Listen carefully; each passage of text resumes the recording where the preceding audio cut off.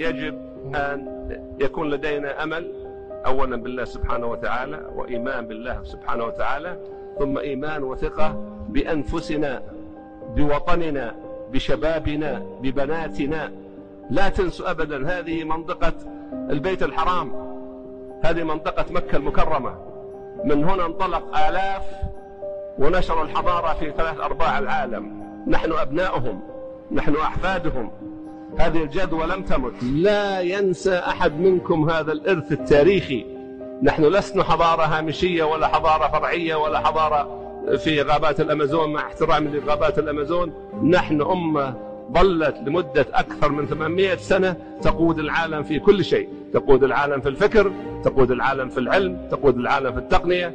مرت علينا أوضاع والدنيا هبوط وصعود ولكننا بإذن الله بإذن الله لدينا القدرة ولدينا الأمل في أن نعود كما كنا. وكما قال وأردد ما قال سمو الأمير خالد الفيصل مكاننا الطبيعي في الصف الأول من العالم الأول.